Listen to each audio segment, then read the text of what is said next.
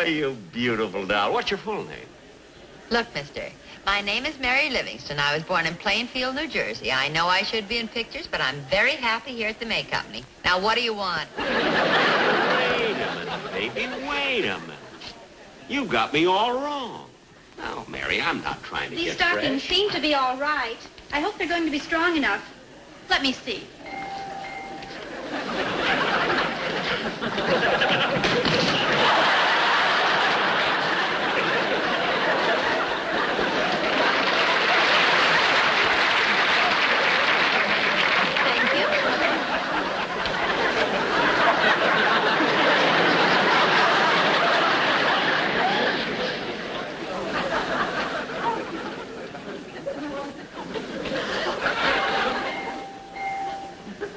Hey, you get a lot of strange customers around here, don't you? Aw, you're just self-conscious.